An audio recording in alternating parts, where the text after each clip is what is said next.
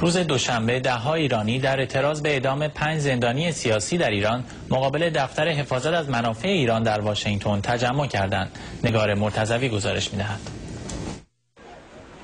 ده ایرانی در اعتراض به اعدام پنج زندانی سیاسی روز دوشنبه مقابل دفتر حفاظت از منافع ایران در شهر واشنگتن تجمع کردند.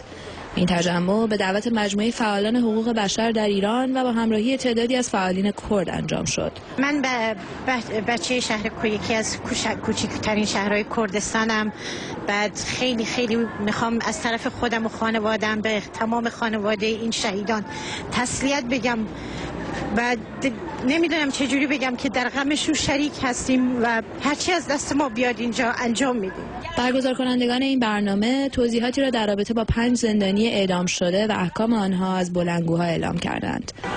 فرزاد کمانگر در پروسه های مختلف بازجویی در بند 209 زندان اوین اداره اطلاعات کرمانشاه و اداره اطلاعات سنندج تحت شدیدترین شکنجه های غیر انسانی قرار گرفت. به اعتراض به حکم غیر انسانی و غیر اخلاقی اعدام برای پنج تن از فعالین مدنی و سیاسی ایرانی که در میان آنها چهار تا از فعالین مدنی کرد هستند.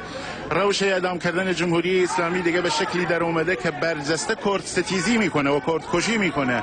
و من فکر می‌کنم دیگه زمانش فرار رسیده که مجامع جهانی نهادهای حقوق بشر انسانهای آزادیخواه و دموکراسی طلب در برابر این شیوه عملکرد غیر انسانی نباید ساکت باشن. و ما هم اومدیم اعتراض خودمون رو بیان کنیم.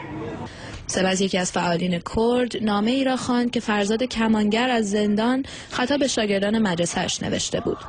هر روز به جای شما به خورشید روز بخیر می‌گویم.